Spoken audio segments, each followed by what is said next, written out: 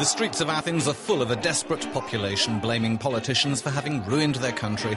The Greek tragedy has become a European one, as all across the Eurozone there's a feeling the party is over. Sooner or later, debts have to be paid. Markets have no mercy with spendthrift states, so traders simply say if you can't pay, we won't trust you anymore. So we'll abandon you and sell off your shares and your currency. When countries are financially prostrate, the International Monetary Fund is there to help, but there's no quick fix, warns its managing director Dominique Strauss-Kahn in an exclusive interview for Euronews in Washington. Well, the current crisis is only a Greek crisis. Uh, Greece has a lot of problem, a problem of debt, very high level of debt, and a problem of competitiveness. And what has been done by the European uh, uh, was our collaboration and our help. I, I think enough, and I think they will overcome. It will be difficult, but they will. For the rest, you have a lot of countries in Europe having a fiscal uh, problem because of the crisis, and not only in Europe, also outside Europe.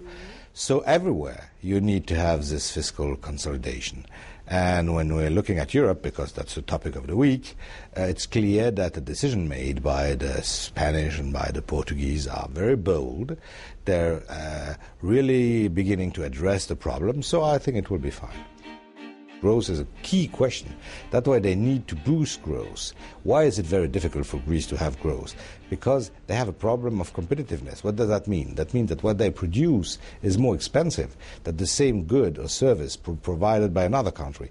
So that's why they have this cut in wages, which are terribly painful, but are absolutely necessary because it's the only way to be able to sell what they uh, what they are producing when other countries have lower cost. Not low country at the other end of the world, uh, and the developed countries in Asia or anywhere, or in Latin America or in Africa, but their very neighbor in the Eurozone, they have in Greece costs which are something about 20 to 25 percent over the, the German cost, for instance, and this difference has to be has to be fixed. When a country's assets like houses or offices don't find buyers or their values tumbled, debt, either public or private, becomes unbearable. The only solution is cutting spending or finding new revenue. Easy to understand, but difficult to do. You may be very rich, you may be Rockefeller, and nevertheless have too much debt. So the question is not whether you're rich or poor. The question is how much in debt you are compared to what you own.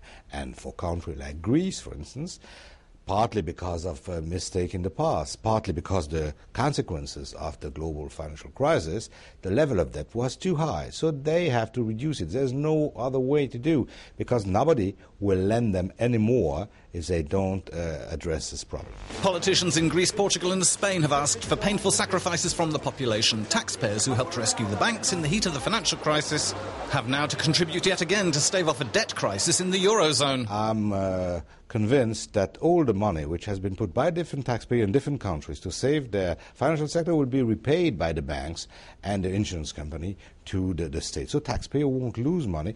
Some will even uh, earn some new money because of the interest. Same thing for the countries. We in the IMF are in the business of lending to countries having problems, but we always been repaid.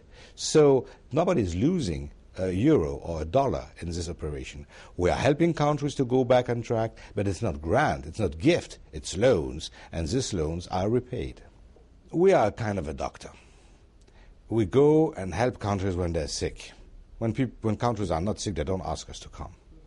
So uh, we try to help the countries, but as you just rightly say, the, the biggest effort has to be done by the country itself because as somebody is sick, you cannot become healthy if you just rely on the medicine from the doctor. You have to change your behavior, you have to be positive, you have to fight against the, the, the, the illness. So the European Union is in the same situation.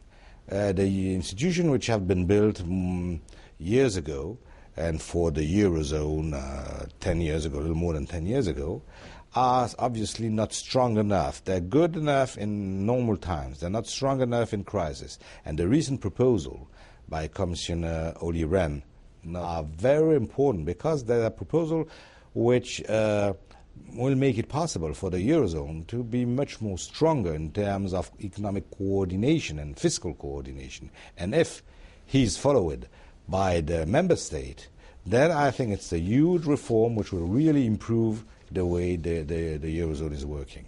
the, the crisis was a bad thing, of course, but there may be some good coming out from the crisis, which is the fact that most uh, uh, European politicians, uh, leaders uh, in the unions, in the business side, academics, everybody understands now that if they want Europe to go on, if they want the Eurozone to be a success, they have to complete what has been started, what has begun with uh, the building or the launching of the euro. And the euro today is not completed.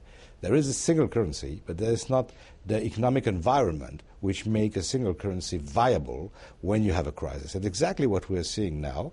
And my, I expect that uh, the European will uh, take advantage of this crisis to really uh, reshape and revamp the, the European institutions.